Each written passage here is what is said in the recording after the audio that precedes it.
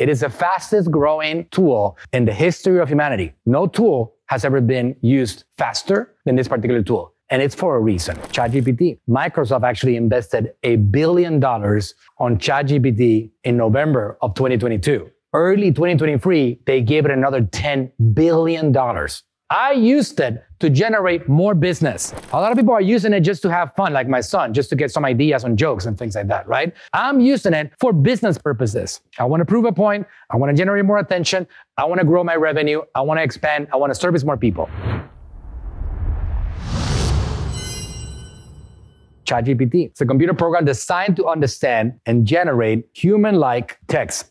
It is the fastest growing tool in the history of humanity. No tool has ever been used faster than this particular tool. And it's for a reason, right? They had somewhere around a million users in the first five days since the launch of the tool. So it's this power generator that is able to convert this information that you're giving it into things that you can use. That's GPT, Generative Pre-trained Transformer, Chat GPT. The generative aspect means that the model can generate text based on the input it receives and pre-trained means that the model has been trained on a large data set before being deployed for tasks like chat-based conversations. Transformer part refers to the specific neural network architecture used in the model. The name ChatGPT reflects the model's ability to engage in interactive conversations and provide responses based on the input it receives. And that's the very cool things about it because the word that we use is conversational. Don't switch the subject. If you look at my subjects over here, which I highly recommend that you upgrade to the $20 a month plan. If you have a free one, it's free, but upgrade because it's going to give you more speed. It's going to give you more data. It's going to be faster in general. So you have conversations. All of these are separate conversations. And one of the things that I'll tell you as a very important practice when using ChatGPT is to never mix the conversations. Because it doesn't matter if you start the conversation today or you started 17 days ago, the tool continues the conversation with you. And you're going to have a long combo about that subject and keep on getting better and better in that subject. My 12 year old son is obsessed with ChatGPT right now. Actually, some of these searches, he broke into mine because I have the paid version and he was limited to his searches on the free one. He couldn't use GPT 4 and he wanted GPT-4. This is a 12 year old, all right? We had a discussion at the house because for me, seeing him so active in the tool, it was such a proud moment. And my wife was like, oh, don't teach him how to cheat in school, how to do this, how to do that. And I'm like, it's such a proud moment. It is. I'm so happy that he's using it. I told him to stop breaking into my ChatGPT. He'll keep on breaking into it. For example, check out some of his searches over here.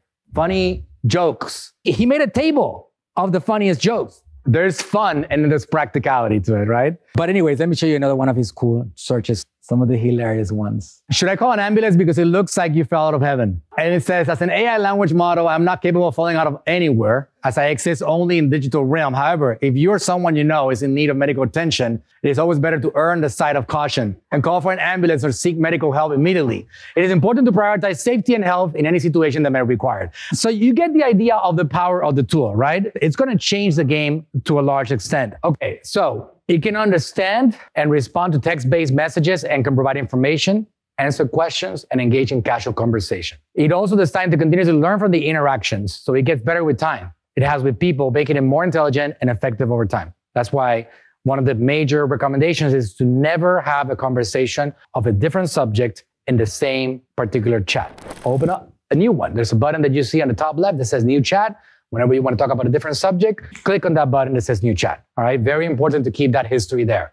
Microsoft actually invested a billion dollars on ChatGPT in November of 2022 early 2023, they gave it another $10 billion.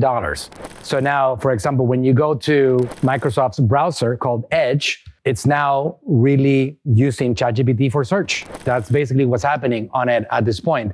They went super deep into the use of this particular tool for their browsing. That's where Google felt a threat and they started working on their own things to try to compensate some of the attention that was being taken on these other platforms. The history of ChatGPT begins with a nonprofit organization in which Elon Musk invested in because he wanted to start figuring out how to use technology, artificial intelligence, to be able to actually get help to society and the world and improve things. And it converted into a for profit company. And that's when he backed out of it. And then other investors came in and they became a whole business. At some point, they might just turn this whole thing that looks like a clean platform for you to do your searches into a place for people to advertise, like Facebook does, like Google did, like YouTube has done for a long time. They're an advertising monster.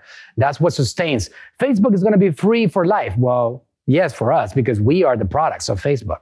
We are what Facebook uses to determine how much they charge for their advertising.